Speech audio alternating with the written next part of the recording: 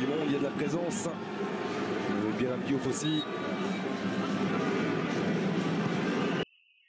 C'est euh, bien travaillé. La tête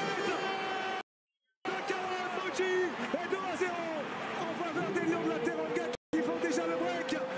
Peu avant la demi-heure de jeu. L'explosion du peuple sénégalais.